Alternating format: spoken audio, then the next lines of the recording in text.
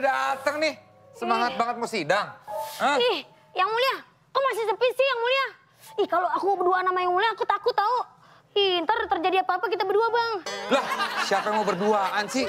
Ini kan emang sidang belum mulai. Yang lain masih siap-siap di belakang. Eh, yang mulia sengaja kan? Eh, pasti mau ngejebak saya nih, ya kan? Hmm. Kok ngejebak kepedean banget sih lo? Ya udah deh, mendingan suruh pada datang deh yang lain dah. Aduh, nih udah cepet-cepet dah ke sini. Walaupun nih aku nih lagi kesakitan nih yang mulia nih. Aduh, aduh, aduh, aduh. Aduh, aduh, mulai deh. Drama. Ya kan? Drama lo. Ya emang lagi drama. Ih, masnya nih lagi kambuh nih. Gara-gara tau gak udah buru-buru datang ke sini. Saya tuh belum sempet makan tau dari tadi. Ya ampun, pantas aja drama melulu dari tadi lo. Nih, pakai cara cepat redakan sakit mah. Minum promah cair. Nih, Oh, proma cair. Efektif buat ngeredain mah ya? efektif dong Boyen. Promah cair bisa bantu ngeredain gejala sakit mah kayak perih di ulu hati, mual sampai perut kembung. Promah kan udah dipercaya dari generasi ke generasi lebih dari 50 tahun. Wah, udah aku cobain yang mulia ya. Hmm. Perih banget nih mas saya. Wah, mantep nih. Praktis lagi, udah ada gelas takernya gini. Iya dong, simpel kan? Ada gelasnya gitu, bikin promah cair dosisnya pasti pas. Makanya cepat buat redain mah sama kembung. Oke deh, mendingan langsung aku minum aja nih yang mulia. Iya dong. Praktis banget nih, tinggal dibuka. Segini yang mulia ya. Mm-mm. Ah.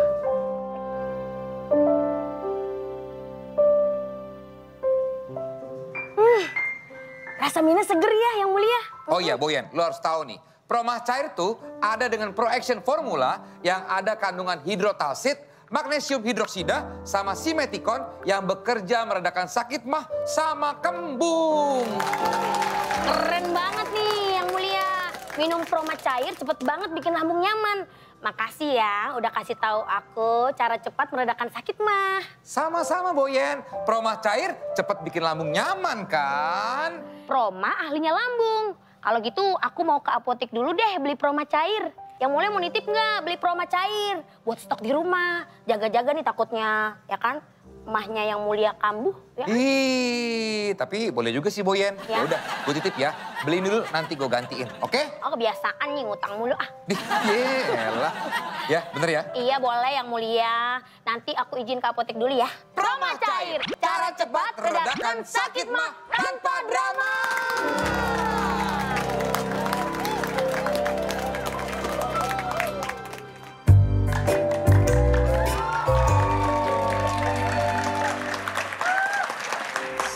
Datang di podcast Bocah, podcast Boris Eca.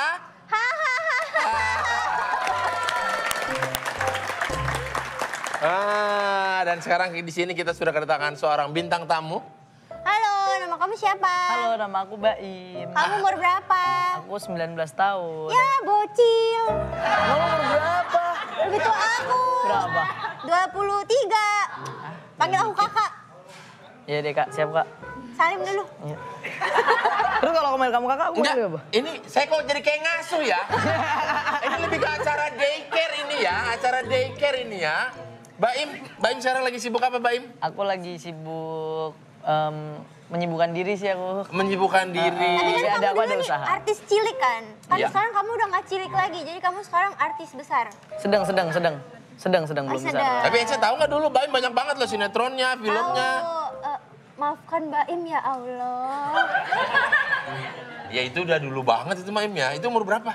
Itu aku umur 4 tahunan paling ya. Eh, 3, 4 tahunan Nah, lah. tapi segituan. masih inget ya Baim? Itu inget ya? Memori-memori itu inget ya? Ingat itu core memory lah, itu nggak bakal lupa. Eh, kamu tuh artis cilik kan? Ciliknya bangga? Cilik, Mbak. Ciluk, ciluk, ciluk, ciluk, ciluk, ba, ciluk, ba. Nih kalau mau lihat bagaimana Baim waktu cilik dulu nih kita ada cuplikannya nih. Nih, ayo dilihat.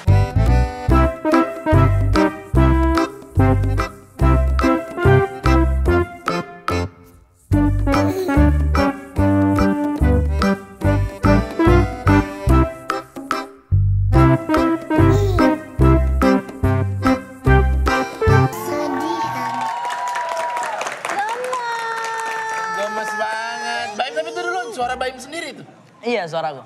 Oh, boleh boleh dicoba nggak? Aduh. Kan suaranya udah berubah kan? Udah dong, udah lebih berubah. bisa. Oh, udah berubah. Coba ya. Jangan. Pasar nggak ada di briefing tadi nih. Nggak ada di briefing Saya juga nggak tahu itu Oh, tiba-tiba iya. ada begitu. Iya, nah, iya, jangan lah. Udah udah nggak bisa nyanyi aku nggak bisa nyanyi. Ah, Nggak bisa nyanyi. Bisa, nggak bisa. Kamu nggak bisa nyanyi? Ya. Eh, Ya. dan gitu. Bisa nyanyi, tapi kamu bisa bikin aku nyaman kok. Oh. Ya, maaf, maaf, maaf, maaf, maaf. Iya, iya, Baik. iya, iya. Itu tadi kayaknya nggak ada di skrip. Oh iya, sama tadi juga nggak ada. Iya, nggak ada ya, ada di skrip ya. Oke, nggak apa-apa Baim, tenang aja. Saya seberapa malunya ini Baim. Santai aja, santai aja.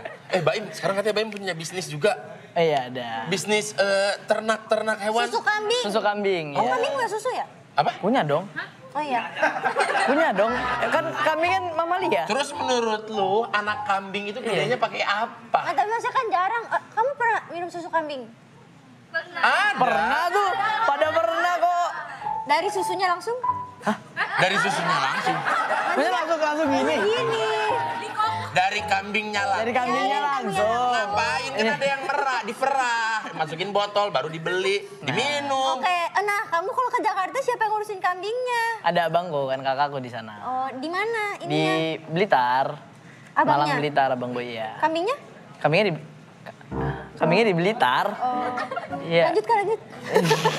Eh, tapi dari sekian banyak hewan, sekian banyak jenis peternakan, kan bisa tiba susu kambing gitu.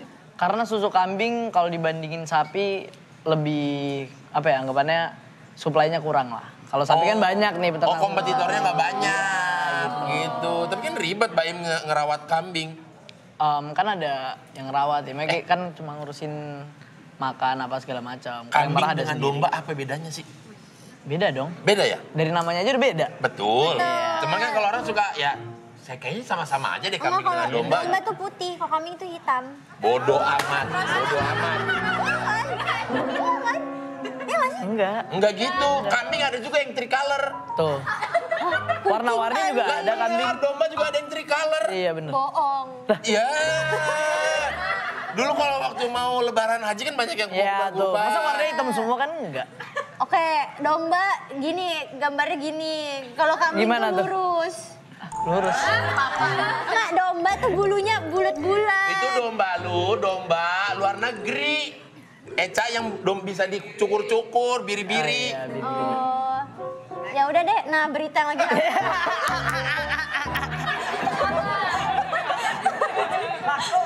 Katanya kamu ada sesuatu sama ayahnya. Emang Iya. kenapa? Coba ceritain dong sama kita. Em, aku lagi ada, ya sebenarnya udah lama masalahnya, udah dua tahunan lah. Cuma baru emang baru aku, aku baru speak up sekarang. Jadi mulai dari ayahku yang udah nggak ada nafkahin aku, mulai dari ayahku yang udah lepas tanggung jawab. Sebenarnya udah dua tahun, tapi emang aku baru speak up sekarang karena aku em, waktu itu masih belum siap lah aku mau ngomongin. Masih aku masih masih mendem, masih sabar lah waktu itu. Kemarin sih udah sempat lihat di podcastnya bapak-bapak botak keker. Oh, oh, oh. Oh iya, Iya kemarin sempat baru, baru nonton. semalam. gitu. Berarti ini, ini berarti udah di tahap acceptance dong sekarang. Oh iya, Masih udah, sam- bahkan sampai diketawain aja gitu. Iya, jadinya. makanya udah di, mau dibikin bercanda juga nggak masalah karena udah udah menerima keadaan lah, udah berdamai dengan keadaan. Tapi udah baik-baik aja nggak sama papa, ayah? En- Enggak, masih belum ada. Kan tadi Kan lagi masalah. lagi masalah. Enggak itu Eca loh. nggak tahu apa Enggak, WhatsApp-nya itu loh, di-blok. Tulisannya sudah Hah? baik-baik aja. Maksudnya kayak Enggak, enggak ada. itu loh nomor lima. Enggak. Ya udah nggak apa-apa. Kamu udah nggak dinafkain sama bapak kamu, tapi kamu nafkain aku aja. Enggak, Baim, tadi kalau sekali kan bercanda, ini udah yang ketiga kali gue dengar dengar ini. Ini singkat aja udah Im, langsung Im, nggak apa-apa Im. Tapi Baim punya pacar nggak? Oh, enggak, enggak punya. Belum punya? Dulu pernah pacaran? Enggak, enggak boleh dong pacaran. Masih kecil lah, Enggak Bang. boleh. Kan, Sekarang udah 19 tahun. iya. Mau pacaran? Enggak, enggak mau. Kenapa? Enggak boleh. Aku enggak aku enggak enggak pernah pacaran. Mau aku. karir dulu ya? Oh kamu Aku belum pernah pacaran? karir. Aku Aku udah nggak berpengalaman. Mau? Nah, di posisi ini tuh Eta lagi berasa kayak dia tuh lebih dewasa banget. Iya. Aku lebih tua. Kalau datang yang mulia, lu kayak anaknya. Ya ampun. Masa kamu bocil, tapi gimana kamu, maksudnya kayak Baim kan soalnya dia dari kecil kerja gitu loh, gimana kayak rasanya kamu dari kecil kerja sekarang kayak udah lumayan dewasa gitu loh. Kamu udah ada beda pandangan gitu nggak? Maksudnya beda pandangan kayak gimana nih? Iya, mengenai Baim yang dulu, mungkin syuting-syuting Oh, aku dulu happy-happy. yang Iya, terus sekarang. Ya anggapannya pada waktu itu kan aku udah anggapannya karirku pas lagi di atas atasnya iya, iya. aku berhenti kan aku Iya. tinggalin semua.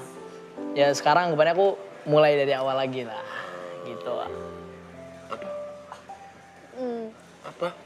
Enggak. Apa sih Eca? Apa sih? Eca, Eca tolong fokus dong, jangan naksir gitu sama Baim kayaknya. Enggak, kalau mau, kalau mau jangan sama Alkatiri yang ini, Alkatiri yang anak stand up. Mamat. Jangan dia berbahaya banyak. Kenapa. Mamat? Terakhir dia ke sini dia obrak-abrik persidangan. Tapi Alkatiri juga kan by the way kan? Iya sama. Ah, berarti kamu orang Arab? Iya Arab. Arab maklum. Baim sukses ya Baim ya. Baim, semoga apa pun Baim. apa pun masalahnya Baim, semoga ada jalan keluarnya Baim ya. Amin, semua amin, amin, bisa amin. menjalani keputusannya dengan sangat-sangat happy lah. gitu, Semoga ya. kambingnya sehat-sehat terus. Iya. Iya. Apa apa nama ininya nama nama peter, nama peternakannya apa? Range Baim Range. Enggak, enggak, enggak, belum, belum, Pak. Eh, aku baru mulai lagi, baru bikin lagi peternakan. Oh, Waktu itu kan peternakan. aku jual daging, sekarang jual susu. Beda. Ah, Oke, waktu itu jual lagi, sekarang jual susu. Mudah-mudahan lancar-lancar semua Baim ya. Kalau begitu, terima kasih untuk para pemirsa setia yang telah selalu menonton podcast tak berarti ini ya. Sampai ketemu lagi di podcast Bocah selanjutnya. Podcast Bocah, podcast Boris Eca.